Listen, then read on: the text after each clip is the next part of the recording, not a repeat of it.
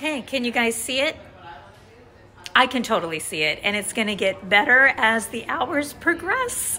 I'm so excited. It's not that I needed a tan, it's that I wanted to even out the tan that I had. So I'll come back at you with a before and after. I'll talk to you later. Bye. Well, I'm having a heart attack, and it's kind of crazy right now. It's absolutely crazy and a little hilarious that I'm supposed to be rinsing this spray tan off in three hours. Don't think it's gonna happen. Thank you for doing such a good job, you guys. So, just to give you guys an update, um, apparently I'm still having my heart attack. It's called a SCAD, S C A D. And it's happening in an artery that's really small and very common in women as they get to my age. So I'll learn more about it to share. It looks like I'm going to be here a couple days.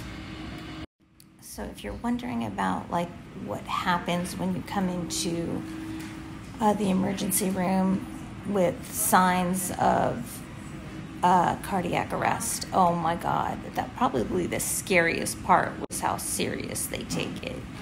I was surrounded by 20 people in my room asking me a zillion questions, and oh my God, it actually almost made me cry because um,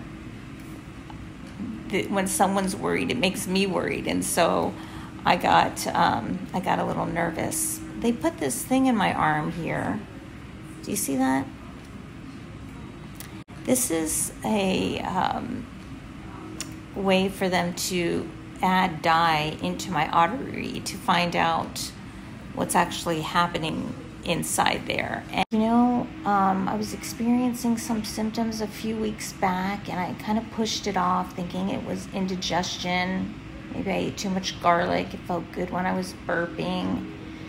But I, I started getting kind of tired and couldn't figure out why I was getting tired. Well, just that I was getting tired, probably because my body was getting ready to have another heart attack.